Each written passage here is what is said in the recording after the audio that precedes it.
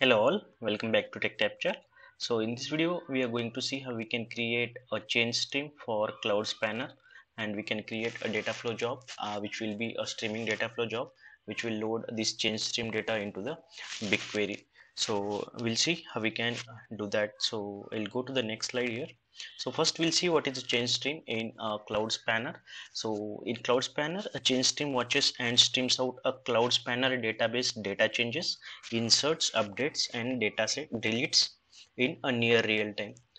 And change stream is a way to enable change data capture in a cloud spanner. So this is a typical definition. So let me try to explain you what is a change data capture and what is a change stream here. So just take an example. Uh, we have one organization database here employee database where it will contain all details of the all employee. So it can be a name of the employee employee id employee address employees uh, nominee details employees bank account number employees pan number every details of an employee will be this employee database and this is considered as a master database for employee data. And there will be few more databases which will be dependent on this data or which can called as downstream to this database. So just take an example of a finance database transport database which will face address for transportation from this employee database table. There will be a insurance database which will fetch employee details and nominee details from the master employee database then there will be a finance database which will fetch only employee details and employees pan number or account number for a salary transactions okay? So there will be multiple databases will depend on this. Now suppose there is any new employee added to the employee and that data will be reflected in uh, all other databases. So this process would be uh, by default with a batch processing. So suppose every day there will job execute and it will sync the data in all the databases. So suppose today we have 100 employees in employee database and all databases will have 100 employee now what happened? Today five more employees join then end of the day this database for five more employees will be sync for all databases at the end of the every day. So this is a batch processing. But still we have delay of few hours so it's not a real time. So to make this replication real time there is a concept of change data capture. So whenever there is any insert delete or update operation happens in the database it will capture that event and it will just send that data to other databases. Okay we have these changes in our master databases. You can take action accordingly. So just say example. So i have my account in xyz bank today. And today i updated my account number and tomorrow is a salary day. But if it is not updated in finance database then finance team can credit my salary in old account and it might fail a transaction. Okay? So to do this in a real time we need a change data capture. So we are going to see how we can enable this change data capture in cloud spanner using a change stream. So i'll go to cloud console now and i'll try to create change data stream in cloud spanner and a streaming data flow job and we'll see how it works. So i'm on my cloud console. Let me go to the cloud spanner first. So in last video we already created one spanner instance and a database. So let me show you that. So here we have one a df demo database created for sorry df demo instance created for cloud spanner and inside uh, df demo that is data flow demo we have dfdb database created. And inside this we have a default singers tables which we created using our queries in google cloud documentation. So in this uh, we have a singers table. So now we have to make a change stream that suppose any change happen into this singers table would be reflected in our BigQuery or it's just sent to BigQuery and then from BigQuery the further action can be taken by respective teams. But at least we have to tell in BigQuery these are the changes made in our spanner database okay? So here we could see a change stream. So I'll go on this change stream okay? And from here I'll create change stream. Now here we have three options here to create a change stream so you could see the syntax here change stream name. So the change stream name i'll just give as a cdc stream. I'll just give change data capture stream. You can give any name. And here in stream definition you can either enable it for complete database you can enable it for particular table or you can enable it for particular column. But for now i'll enable for all the objects in the database. So i'll just make it all okay? And i'll create a change stream here. So we'll just scroll down. So let me zoom in if you are not able to see properly okay? Now this is our query and i'll just submit it and it will create one change stream.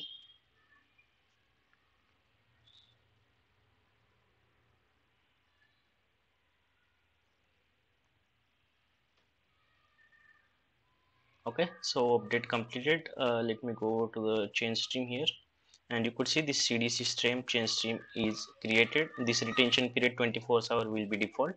And value captured old and new values okay? And the tables washed all the tables. Now i'll go to a data flow and i'll try to see how i can create a data flow job for this. So i'm on a data flow here. Now here we have to create one more instance. I'll tell you why we need to create one more instance so here i'll just give the name as spanner cdc okay? I'll keep it us central one template. We have to choose here streamings template. The first template cloud spanner changes streams to bigquery. And i'll show you few more details here. The details we required here. So here we need cloud spanner instance id cloud database cloud spanner metadata instance id and cloud spanner metadata database. So these two things we have to create additionally. So i'll go back to the cloud spanner. So this is required to collect uh, the cdc data. So that is one more step we have to do. We have to create one more instance here. So i'll create one more spanner instance. I'll just give the name. It's for metadata. So i'll just give the name as an empty instance empty for metadata. And I will keep it regional with the same region US central one. And I'll keep it with a minimum capacity to save the cost. Okay? And I'll simply create it. So once it is created I will create one database also. In this instance I'll create a empty db or something. So i'll create a database here called empty db or empty database. So empty is for metadata. And i'll simply click on create.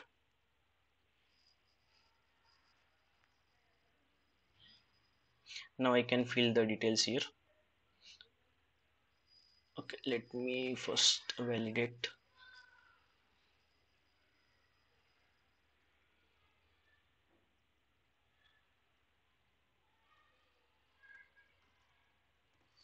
okay so let me fill this detail first. Metadata instance is empty instance. So let me give the name metadata instance empty hyphen instance and metadata database would be empty hyphen database.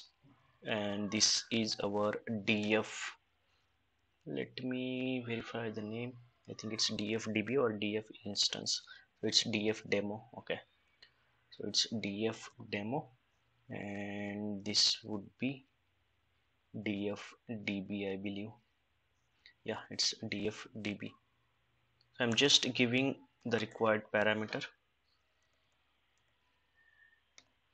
Df db so this is the database name. Now change stream name. Whatever the change stream name we created. So we created cdc so if I go into this database here I can find this change stream name we created. So it is cdc underscore stream. So I'll give the name cdc stream. BigQuery dataset uh, I have created one data flow.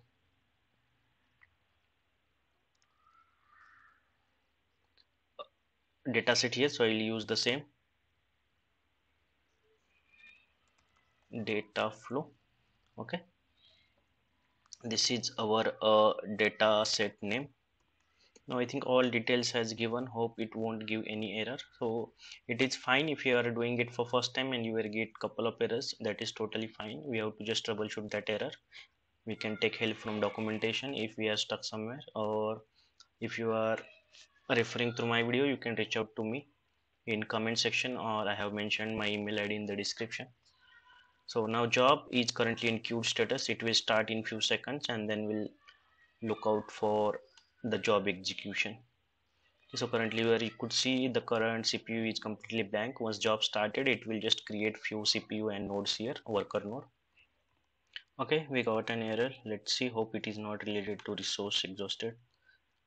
Then we have to change the region and again need to rerun. Yeah it is for resource exhausted so as i am using a free trial account it is exceeded the limit. So let me create the same job in another region. So do i have option to clone here? I don't see i have clone option here. So let me create a new job again. So I'll just create job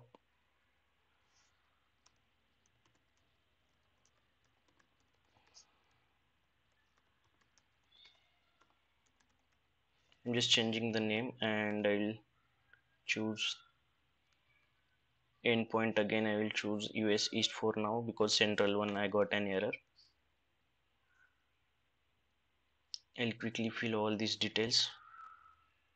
So cloud spanner instance id was def demo database was def db this was empty instance and it was empty database it was cdc stream and dataset was data flow.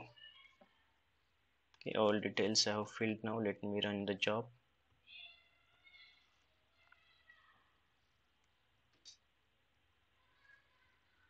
Okay we'll monitor. Hope no error this time. Okay now you could see it's in starting state. Now it will just turn into running state and this CPU count will come here. Yeah you could see the job started running now and the status would be running. Okay so this is running now. Now it won't perform any action until we change something in our spanner database. Okay so what I will do now I'll go to this our spanner database and I'll try to change something in our table okay? So we have singers table here. So I'll just try to do a select star from singers okay now I'll just want to change this name. So what I will do I'll update singers set first name?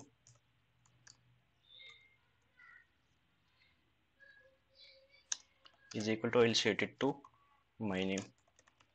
Okay. Where singer id is 1 and once I execute it will change here and it should then create change event and load into the BigQuery. So let me first go here and let me show you currently here are only two tables BQ load and data no other tables here. Let me execute these statements. Or unselected. Okay updated. Now let me check. And here you could see uh, its current CPU is showing 2 let me check the worker logs just check all the logs here.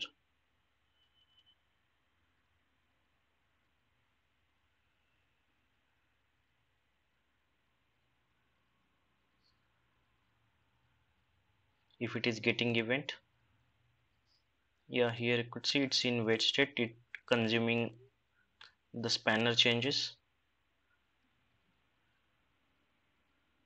Starting worker pool worker started successfully. We'll wait for a few seconds and we'll see what happens. Okay now let me just scroll down and here you could see it is showing the counters. So it is uh, reading the elements bytes return. So it is uh, writing into the BigQuery table. So I'll just see if a BigQuery table is created now. So I'll refresh this page and we'll see if any new table is created here and it contains a change data or event data whatever the operation has performed insert update or delete. Yeah here we could have singers change log. So we have on singers tables. So let me query this and we'll see if it is having update table which we update query which we have executed. Means at least a event where it will tell okay this is updated name. Yeah so here you could see. So I executed it two times as it was not reflecting. So here you could see it saying okay first name is Vishal last name Richards. Method update table singers. So it is giving all the details. Now let me do one thing again. Let me go back in spanner and let me delete this column okay so I'll just write here. Delete from singers where singer id is equal to 1 so i'm just deleting the first column here uh, first row. Now it should have only two row. Okay so here it's having only two row now it's singer id 2 and 3 now this data should be reflected in BigQuery near real time. Okay so I'll just go and I'll execute a query now you could see it's showing one delete operation on a singers table this detail is here. Number of records impacted in a transactions. So it is showing the delete operation it is showing null because we deleted this data. Okay it is showing only a singer id now let me again perform insert operation also. So I'll just do insert into singers values and column name what we have. First name comma last name. I'll put this only values only for now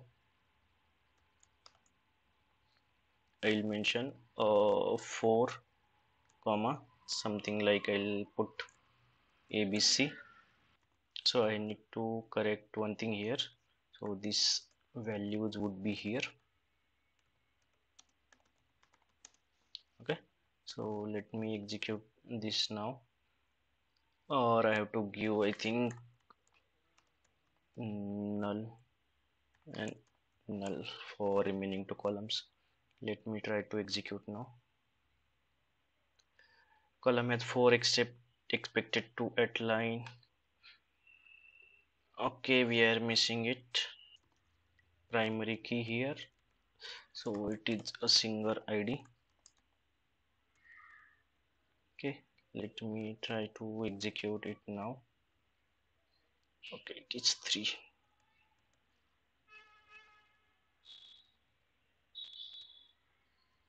it's inserted one row and let's verify in BigQuery.